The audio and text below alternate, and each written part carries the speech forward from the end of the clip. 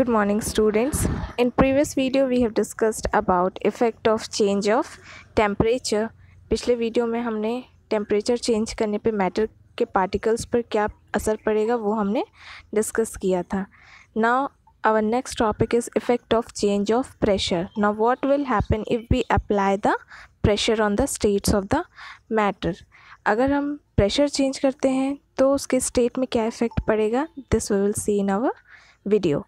We have already learned that the differences in various states of matter is due to the differences in the distance between the constituent particles. हमें ये पहले से पता है कि जो states के matter हैं उनके बीच में जो difference है means difference between the constituent particles उनके particles के बीच में जो differences होते हैं that is due to the change of temperature वो किसकी वजह से होता है? टेम्परेचर चेंज की वजह से होता है। अब हम यहाँ पे पढ़ेंगे अब क्या होगा अगर हम उसमें प्रेशर चेंज करते हैं मीन्स प्रेशर को बढ़ाते हैं या कम करते हैं। So what will happen if increase और decrease the pressure on the matter so we can understand this by performing a simple experiment यहाँ पे हमने एक सिलेंडर uh, लिया है। सिलेंडर में गैस के पार्टिकल्स हैं या तो कह सकते हैं गैस फिल की हुई है और उसमें एक पिस्टन लगा दिया है। अब पिस्टन को जब हम उसमें प्रेशर अप्लाई करेंगे, पिस्टन में जब हम प्रेशर अप्लाई करेंगे तो जो गैस फिल है सिलेंडर के अंदर, उसके पार्टिकल्स ऑटोमेटिकली एक दूसरे में क्या होते जाएँगे? क्लोज होते जाएँगे। The distance between the particles inside the cylinder will come closer when we apply the pressure जब हम प्रेशर अप्लाई करेंगे तो सिलेंडर के अंदर के गैशियस पार्टिकल्स वो एक दूसरे से क्लोज होंगे and if we are applying more pressure और ऊपर से अगर हम और ज़्यादा प्रेशर देंगे तो state will come when the gas will change into the liquid एक ऐसा स्टेट आएगा जहाँ पे जो गैस के पार्टिकल्स हैं वो लिक्विड में चेंज हो जाएँगे। आपने सॉलिड कार्बन डाइऑक्साइड के बारे में सुना होगा। It is stored under high pressure solid C O two gets converted directly to gaseous state on decrease of pressure to one atmosphere solid जो कार्बन डाइऑक्साइड होता है, वो हम डायरेक्टली उसको गैशियस स्टेट में चेंज करा सकते हैं। और उसका प्रेशर हम कितना रखेंगे? जब हम उसका प्रेशर कम कर देंगे टू वन एटमॉस्फियर एटमॉस्फेयर क्या होता है? Atmosphere is the unit of measuring pressure exerted by a gas जैसे हर चीज़ को मेजर करने के लिए एक यूनिट बनाई गई है, वैसे ही प्रेशर को मेजर करने के लिए एक यूनिट होती है, उस यूनिट को हम बोलते हैं एटमॉस्फेयर और यूनिट प्रेशर का यूनिट क्या है? Pascal the unit of pressure is pascal and one atmosphere is equals to 1.01 into ten raise to the power five pascal और एक एटमॉस्फेयर की यूनिट होती है 1.01 point zero one into ten to the power five pascal the pressure of air in the atmosphere is called atmospheric pressure और जो air में जो pressure होता है, उस प्रेशर को हम बोलते हैं atmospheric pressure the atmospheric pressure at sea level is one atmosphere and is taken as the normal atmospheric pressure जो सी लेवल का ऊपर का जो एटमॉस्फेयर होता है मीन्स जहाँ पे हमारा सी है, समुद्र है, उसके ऊपर का जो एटमॉस्फेयर है, उसका प्रेशर कितना होता है? वन एटमॉस्फेयर और वो नॉर्मल एटमॉस्फेरिक प्रेशर कहलाता है। तो ये तो था एटमॉस्फेयर के बारे में। तो जो हम प्रेशर की यूनिट नापते हैं, वो हम पास्कल में नापते हैं। The C O two which is directly converted into gaseous state on decreasing the pressure is also known as the dry ice C O two जो डायरेक्टली गैस में चेंज होता है, उसे हम ड्राई आइस कहते हैं। Thus we can see that pressure and temperature determine the state of substance, whether it will be solid, liquid or gas.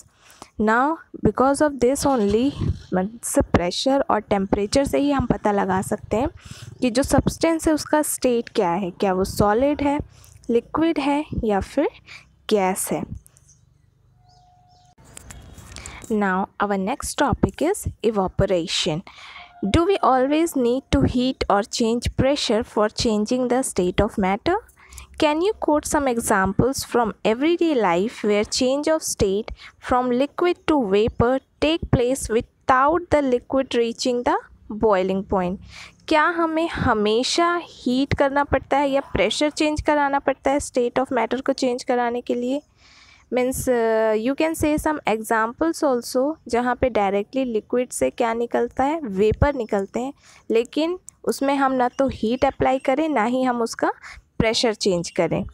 Yes yes, ऐसे बहुत सारे एग्जांपल्स हैं। सबसे कॉमन जो एग्जांपल है that is water water when left uncovered slowly changes into vapour wet clothes dry up. And what happens to water in the above two examples? जब हम पानी को धूप में रखते हैं और उसे ढकते नहीं हैं तो आप एक घंटे बाद जाके देखना वाटर का लेवल धीरे धीरे क्या होता है? थोड़ा सा कम हो जाता है। और जब हम गीले कपड़े को धूप में सुखाने के लिए डालते हैं तो वो क्लोथ्स ऑटोमेटिकली क्या होते हैं? ड्राई होते हैं। तो आखिर उनका पानी जाता कहाँ है?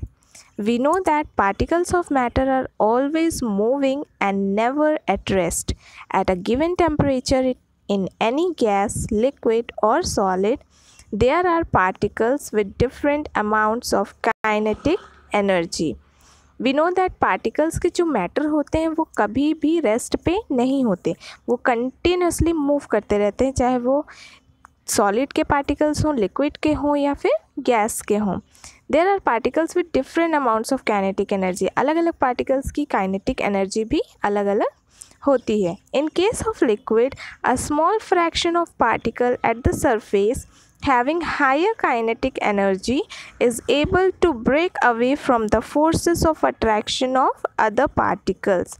जो, अगर हम यहाँ पे एग्जांपल लें या केस लें लिक्विड का तो जो कुछ पार्टिकल्स जो लिक्विड के सरफेस पे होते हैं मीन्स जो ऊपर की तरफ़ होते हैं, उनकी काइनेटिक एनर्जी थोड़ी ज़्यादा होती है।